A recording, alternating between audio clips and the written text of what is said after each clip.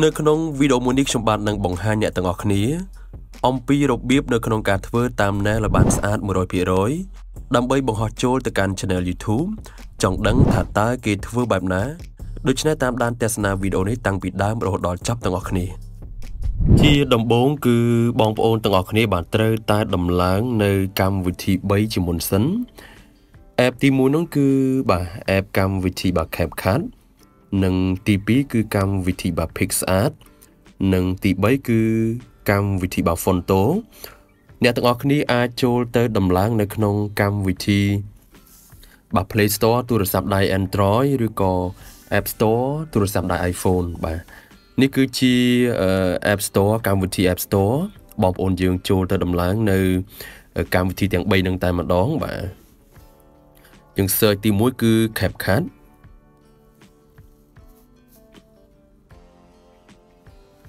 នេះគឺជាកម្មវិធី CapCut បងប្អូនយើងចុចដំឡើង ទី2គឺ Fonto បាទ Fonto ឯនេះគឺជាបាកម្មវិធីបា Fonto ចុចដំឡើងជាបន្តនិង app ចុងក្រោយគឺបាទ PixArt ខ្ញុំបានដំឡើងនៅ app ចំនួន3នេះគឺរួចរាល់ហើយ អ្នកណាដែលមិនទាន់បានដំឡើងនៅ app ទាំង3នេះគឺយើងដំឡើងឲ្យបានគ្រប់ចំនួន3 app នឹងតែម្ដងបាទបន្ទាប់ពីដំឡើងរួចហើយគឺយើងចុចបាទចេញមកបាទ home screen របស់យើងវិញធ្វើការរើសនៅ បាទរូបភាពមួយជាមុនសិនខ្ញុំឧទាហរណ៍ថាខ្ញុំយកនៅរូបភាពមួយនេះបាទដើម្បីធ្វើការ remove នៅផ្ទៃខាងក្រោយ ការ remove នៅ background ខាងក្រោយគឺខ្ញុំប្រើជាមួយនឹង app បា CapCut បាទចូលទៅកាន់បា CapCut បងប្អូននឹងឃើញនៅមុខងារជាច្រើននៅលើកម្មវិធីបា CapCut ប៉ុន្តែខ្ញុំសូមចុចយកតែពាក្យថា remove បា background នេះបាទឬរូបភាពដែលយើងចង់ remove ផ្ទៃខាងក្រោយចុចពីថា edit រងចាំវាបន្តិចសិនវានឹងធ្វើការ remove នៅផ្ទៃខាងក្រោយឲ្យយើងណាធ្វើបានបែបនេះហើយគឺបងប្អូនត្រូវចុចពាក្យថាបើ export នេះ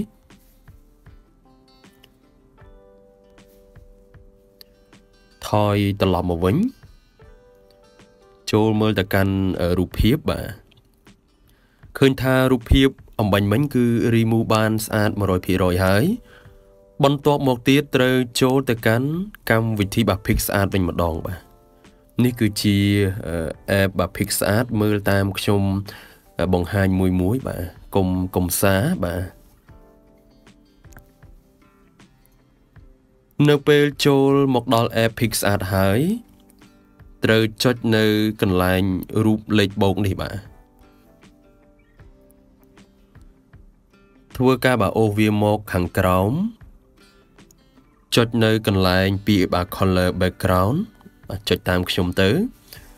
ខ្ញុំឧទាហរណ៍ថាខ្ញុំយកនៅផ្ទៃ background មួយនេះបាទតាម nail របស់ YouTube គឺទំហំបាទមុននឹងដាក់ចូលទៅកាន់ YouTube បាន ទំហំគឺ16បាទចុច9បងប្អូនត្រូវមើលតាមខ្ញុំ បាទចុចចូលមកកាន់ពាក្យថា tool នេះបាទចុចថា crop មើលមកខាងក្រោមបាទចុចយកពាក្យថា16បាទចុច9វាគឺជាទំហំតាម nel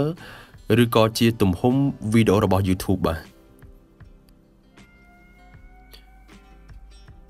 វាបានកាត់ឲ្យយើង ត្រឹមត្រូវហើយចុចពាក្យថា apply នេះនៅពេលបានបែបនេះហើយបងប្អូនត្រូវមើលមកខាងក្រោមបាទធ្វើការអូសតាមខ្ញុំ គឺអូសពីស្ដាំទៅឆ្វេង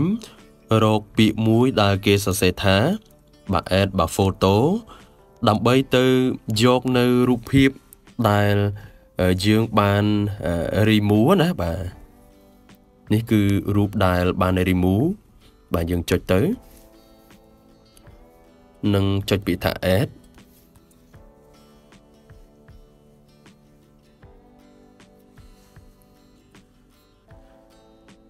យើងត្រូវការ zoom បងប្អូនយើងចុច zoom ទៅបាទយើងទាញទៅតាមអ្វីដែលយើងស្រឡាញ់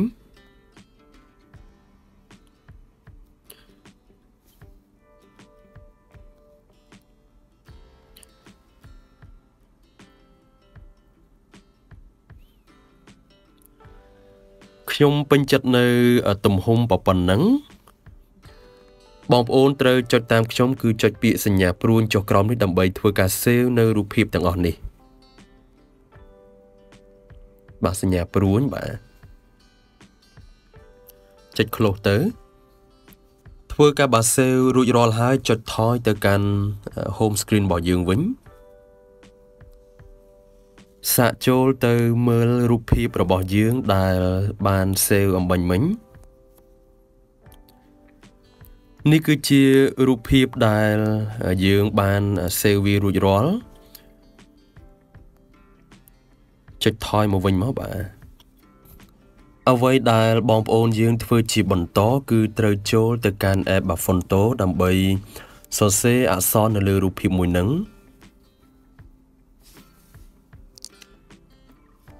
ចុចមកកាន់បារូបភាពកាមេរ៉ានេះคลิกលើពាក្យថា Photo Album យកនៅរូបភាពមួយនេះចុចពាក្យខាងលើថា Don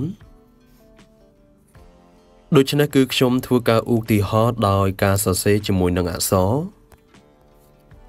របៀប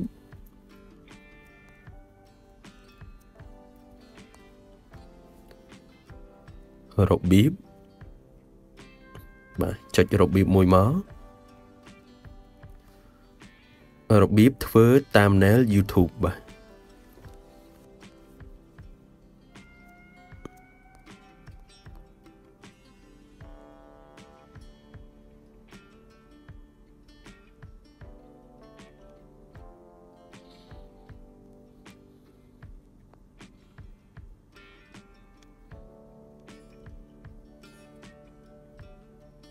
thumbnail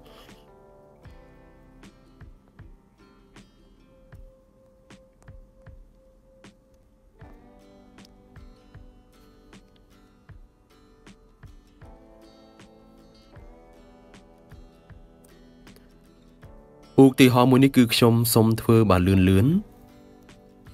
បងប្អូនបាទត្រូវចុចពាក្យថា style នេះបាទយកនៅ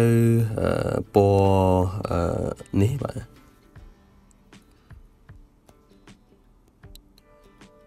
ខ្ញុំបាទសូមយកនៅពណ៌មួយនេះ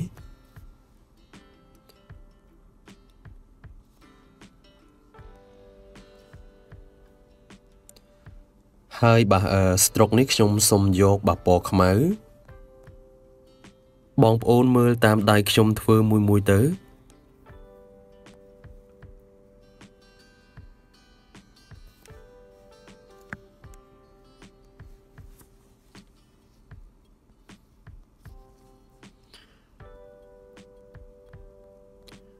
ខ្ញុំសូមយកនៅពណ៌ខ្ចី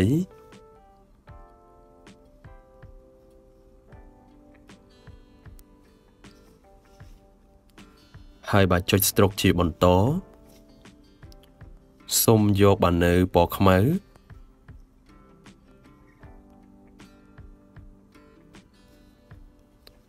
ហើយបាទចុចពីថាដូន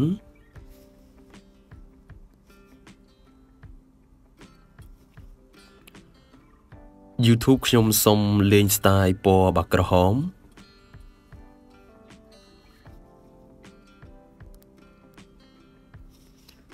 ហើយបាទ stroke ខ្ញុំសូមយកបាទពណ៌ស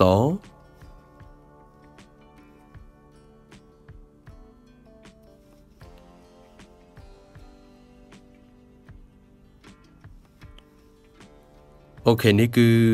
ឃើញថាស្អាតគួរសមដែរនៅពេលដែលយើងគិតថាធ្វើវាបានស្អាតហើយ បាទយើងចង់ចុច save ត្រូវចុចនៅសញ្ញាព្រួយមួយនេះ ធ្វើការបោអូសមកខាងក្រោមរកពាក្យថាបាទ save បាទ image នេះ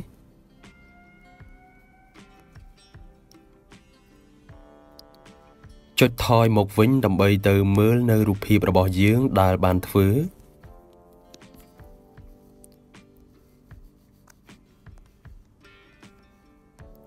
អូខេបើឃើញថាធ្វើស្អាតបានគួរសមដែរហើយ យើងអាចយកវាទៅដាក់ធ្វើជាតាម nail បាទ YouTube បានអញ្ចឹងការបង្ហាញមួយនេះគឺខ្ញុំបង្ហាញបែបលឿនលឿនទេ បងប្អូនយើងអាចស្រាវជ្រាវបន្ថែមជាមួយនឹង app ទាំង3នេះបានបាទអរគុណសម្រាប់ការបង្ហាញរបស់ខ្ញុំបាទគឺមានតែប៉ុណ្្នឹងទេ ប្រសិនបើជាបងប្អូនទាំងអស់គ្នា មានកន្លែងណាឆ្ងល់អាច comment នៅខាងក្រោមវីដេអូ